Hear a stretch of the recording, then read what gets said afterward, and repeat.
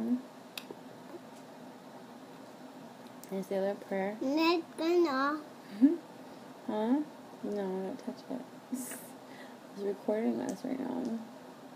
This moment we can watch another time later from now. And we'll look back at this moment. And we'll either laugh or we'll be glad that we did it. I want to say a prayer for you, baby. Can I? Yeah?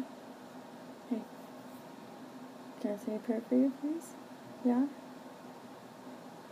No? Don't want you to be like me, fine, I will pray. I'm just trying to do the right thing. But it's cool, I'm gonna say it anyways. Now I lay me down to sleep. I pray the Lord my soul to keep me. If I should die before I wake,